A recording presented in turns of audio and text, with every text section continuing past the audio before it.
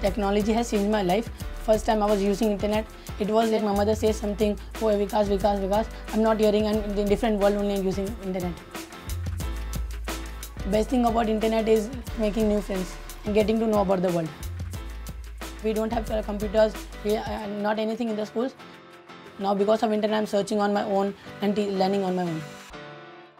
Using the internet is very expensive, so I go to my friend's house, use his Wi-Fi. I have a YouTube channel. It's named Mad About Tech.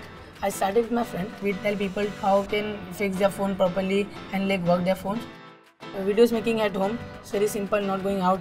Just take two phones. One people can shoot. One people can talk. Views and uh, comments excite me. That I get feedback like uh, make more videos on this. That inspires me a lot.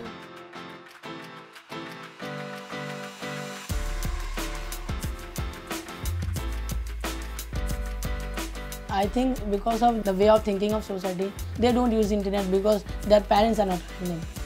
That's not fair. It, it should be a right to have internet. Her right should not be stopped. Okay. The internet is harmful and as well as it, it depends on the user. People are not using internet much now, but later on, the, uh, the India it will be the digital India